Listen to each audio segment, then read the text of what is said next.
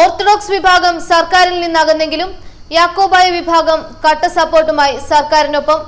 ജനുവരി ഒന്നിന് സംസ്ഥാനത്ത് നടക്കുന്ന വനിതാ മതിലിൽ യാക്കോബായ സുറിയാനി സഭയുടെ യുവജന ഭക്ത സംഘടന പങ്കെടുക്കും. കേന്ദ്ര കമ്മിറ്റി യോഗത്തിന് ശേഷം അസോസിയേഷൻ പ്രസിഡന്റ് മോർ ഒസ്താത്യോസ് ഐസക് മെത്രാപൊലിത്തയാണ് ഇക്കാര്യം അറിയിച്ചത്. ഈ വനിതാ ശാക്തീകരണ പരിപാടി മാതൃകാപരമാണ്. നവോത്ഥാന മൂല്യങ്ങൾ സംരക്ഷിക്കുന്നതിനുള്ള ജനകീയ മുന്നേറ്റത്തിന്റെ ഭാഗമാണ് വനിതാ മതിലെന്ന് ഞങ്ങൾ മനസ്സിലാക്കുന്നു. കേരളത്തെ വീണ്ടും ഭ്രാന്താലയമാക്കാൻ അനുവദിക്കില്ല എന്ന മുദ്രാവാക്യം ഉയർത്തിപ്പിടിച്ചുകൊണ്ട് പൂർവിക ചരിത്രത്തിൽ നേടിയെടുത്ത സാംസ്കാരിക മൂല്യങ്ങളെ നിലനിർത്തുന്നതിനായി നടത്തുന്ന വനിതാ മതിലിൽ പങ്കെടുക്കുക എന്നത് അഭിമാനകരമായ കാര്യമാണ്.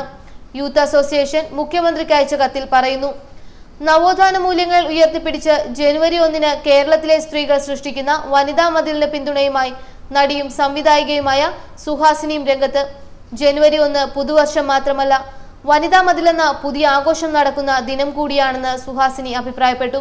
ഇത്തരത്തിൽ വനിതകൾ കൈകോർക്കുന്നതിനെ തടയാൻ ഒന്നിനുമാവില്ല.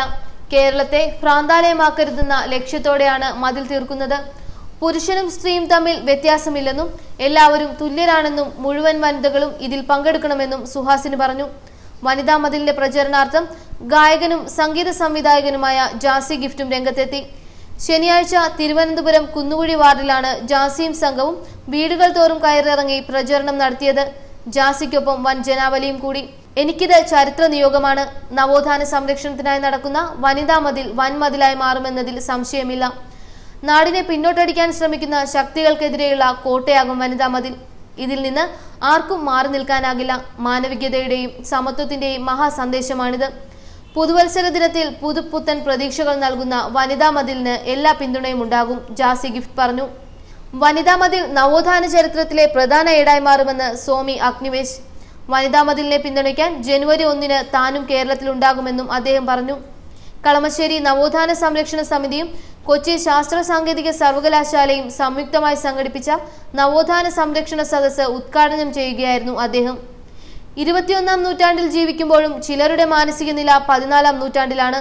പൗരാണിക ഭാരതത്തിലെ പ്ലാസ്റ്റിക് സർജറിയെക്കുറിച്ചും ശാസ്ത്രത്തെക്കുറിച്ചും പ്രധാനമന്ത്രി നരേന്ദ്രമോദി പറഞ്ഞ വിഡിത്തങ്ങൾ സമൂഹത്തെ പിന്നോട്ട് നടത്തുന്നവയാണ്. മോദിയെയും സംഘപരിവാറിനെയും വിമർശിക്കുന്നതിനാലാണ് താൻ ആക്രമിക്കപ്പെടുന്നതെന്ന് അടുത്തിടെ രണ്ടു തവണ സംഘപരിവാറുകാരാൽ ആക്രമിക്കപ്പെട്ട അഗ്നിവേശ് പറഞ്ഞു. ദൈവത്തിലും വേദങ്ങളിലും വിശ്വസിക്കുന്ന തന്റെ വിമർശനങ്ങൾ അവർക്ക് സഹിക്കാനാവില്ല.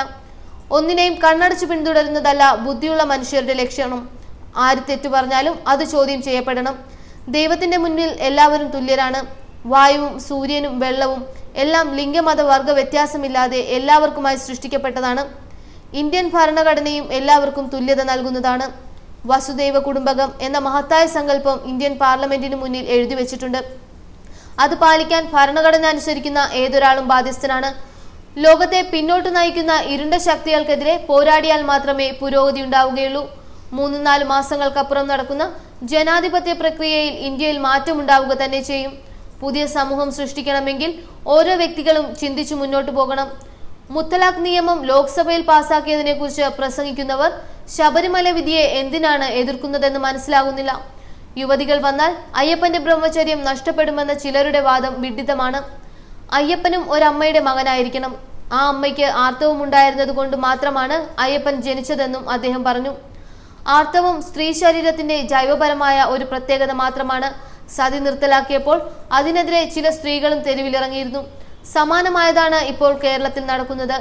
ശ്രീനാരായണ ഗുരു അയ്യങ്കാളി സഹോദരൻ അയ്യപ്പൻ തുടങ്ങി നവോത്ഥാന നായകർ പിറന്ന മണ്ണാണ് കേരളം. സ്ത്രീകൾക്ക് തുല്യത നൽകുന്ന ഒരു പുതിയ ലോകം സൃഷ്ടിക്കാൻ നമ്മൾ എല്ലാവരും മുന്നോട്ട് വരണം. കേരളം ലോകത്തിന് മാതൃക കാട്ടണമെന്നും അദ്ദേഹം പറഞ്ഞു. ഇത്തരമൊരാശയം മുന്നോട്ട് വെച്ച സംസ്ഥാന സർക്കാരിനെയും മുഖ്യമന്ത്രിയെയും അദ്ദേഹം അഭിനന്ദിച്ചു. ലോക ചരിത്രത്തിന്റെ തന്നെ പുതിയ ഏടാകാൻ പോകുന്ന വനിതാ മതിലിന് പിന്തുണ പ്രഖ്യാപിച്ച് താനും ഇവിടെ ഉണ്ടാകുമെന്നും സ്വാമി പറഞ്ഞു. ശനിയാഴ്ച കേരളത്തിൽ നിന്ന് മടങ്ങാൻ ടിക്കറ്റ് എടുത്തിരുന്ന താൻ വനിതാ മതിലിന്റെ ഭാഗമാകാൻ മടക്കയാത്ര മാറ്റിവെച്ചതായും പുരുഷനായ സ്ത്രീപക്ഷവാദിയാണ് താനെന്നും അദ്ദേഹം പറഞ്ഞു. ഋഗ്വേദ മന്ത്രങ്ങൾ ചൊല്ലിയാണ് അഗ്നിവേശ് പ്രഭാഷണം ആരംഭിച്ചത്. ന്യൂസ് ഡെസ്ക് മലയാളി വാർത്ത.